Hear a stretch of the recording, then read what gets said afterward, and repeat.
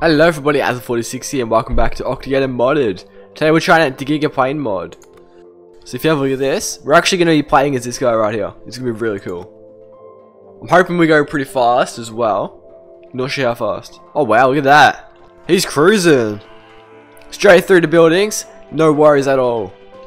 Nothing's about to stop this guy. Okay, I want to see an enemy. If there's an enemy, he's going to get absolutely dominated. As if they even spawn. I'm not sure why they're not spawning. We'll see on the boss anyway. Here we go. What's it gonna be? It's gonna be. Um. I don't know. What boss is this? Is there no boss? This is a bit weird. Looks, it looks like we're at the end of the map, but we just keep going.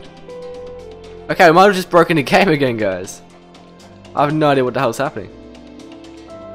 This is really strange, actually. Okay, I started a new game. This time looks like we're damaging buildings and stuff. Maybe the boss will spawn this time. Here we go. We still didn't get electrocuted, that's good. Hello, Mr. Boss. I want to see you. I want to see what you can do. Here we go. Is he going to spawn this time? Moment of truth. Oh, it's glitched again. Okay.